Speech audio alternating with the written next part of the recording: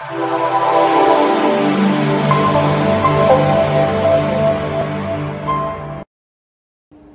chào tất cả các bạn, chúng ta lại gặp nhau. Chúng ta đi ở trong nhà chung cư rất nhiều.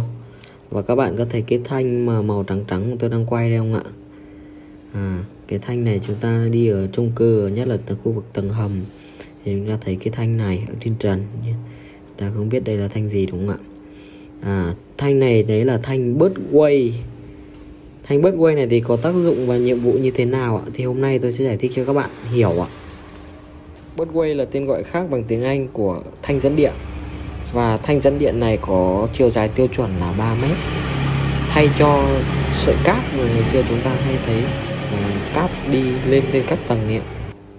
cấu tạo của hệ thống Birdway này thì bao gồm uh, vỏ thanh dẫn thanh dẫn và giá đỡ thanh dẫn của Birdway thì được làm bằng đồng và có độ tinh khiết tới tận 99,9% Hệ thống bước quay thì được phủ bằng một lớp màng cách điện polyester cấp độ A.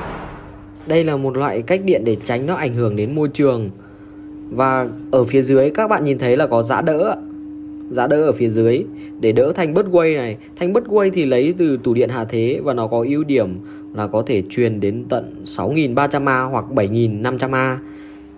Có khả năng dẫn điện lớn nên dẫn đến là nó uh, có à, ít khả năng về hao tổn trên đường dây ngoài ra thì nó có tính thẩm mỹ cao và tiết kiệm diện tích các bạn nhìn thấy một cái khối này rất là ít diện tích so với cáp máng mà bạn đi thì rất là nhiều dây để các bạn đi lên cảm ơn tất cả các bạn đã theo dõi video của chúng tôi. Xin chào và hẹn gặp lại.